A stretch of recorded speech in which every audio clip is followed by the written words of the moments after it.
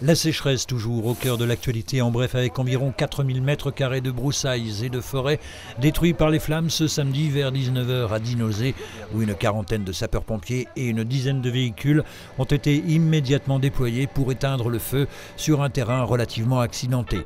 Des pompiers préparés à ce genre d'éventualité. Face à la, situation euh, de sécheresse, les services de secours ont mis en place un dispositif opérationnel qui permet d'engager immédiatement d'importants moyens de secours pour combattre euh, cet incendie. Et aujourd'hui, on a la, preuve que cette euh, doctrine opérationnelle apporte ses fruits parce que l'engagement massif de moyens a permis à la fois de limiter la propagation de l'incendie dans le milieu forestier, mais aussi de préserver les habitations.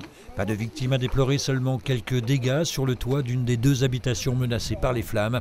Une enquête a bien sûr été ouverte par la et puis, autre incendie dont nous n'avons aucune image, ce lundi rue La Roche, sur un terrain en pente, situé derrière le cimetière de Rue-sur-Moselle. Le feu a débuté vers 11h, attisé par le vent. Deux hectares de végétation ont brûlé. L'incendie a été fixé vers 14h grâce à la soixantaine de pompiers sur place. Là encore, aucune victime n'est à déplorer et une enquête de gendarmerie est en cours. Une heure pour sauver trois vies, c'est le slogan de l'établissement français du sang qui organisait ce lundi toute la journée une collecte au centre des congrès d'Épinal.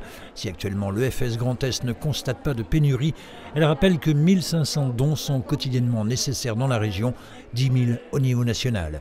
Des tensions existent actuellement sur le groupe O, indispensable car les globules rouges sont compatibles avec tous les autres groupes.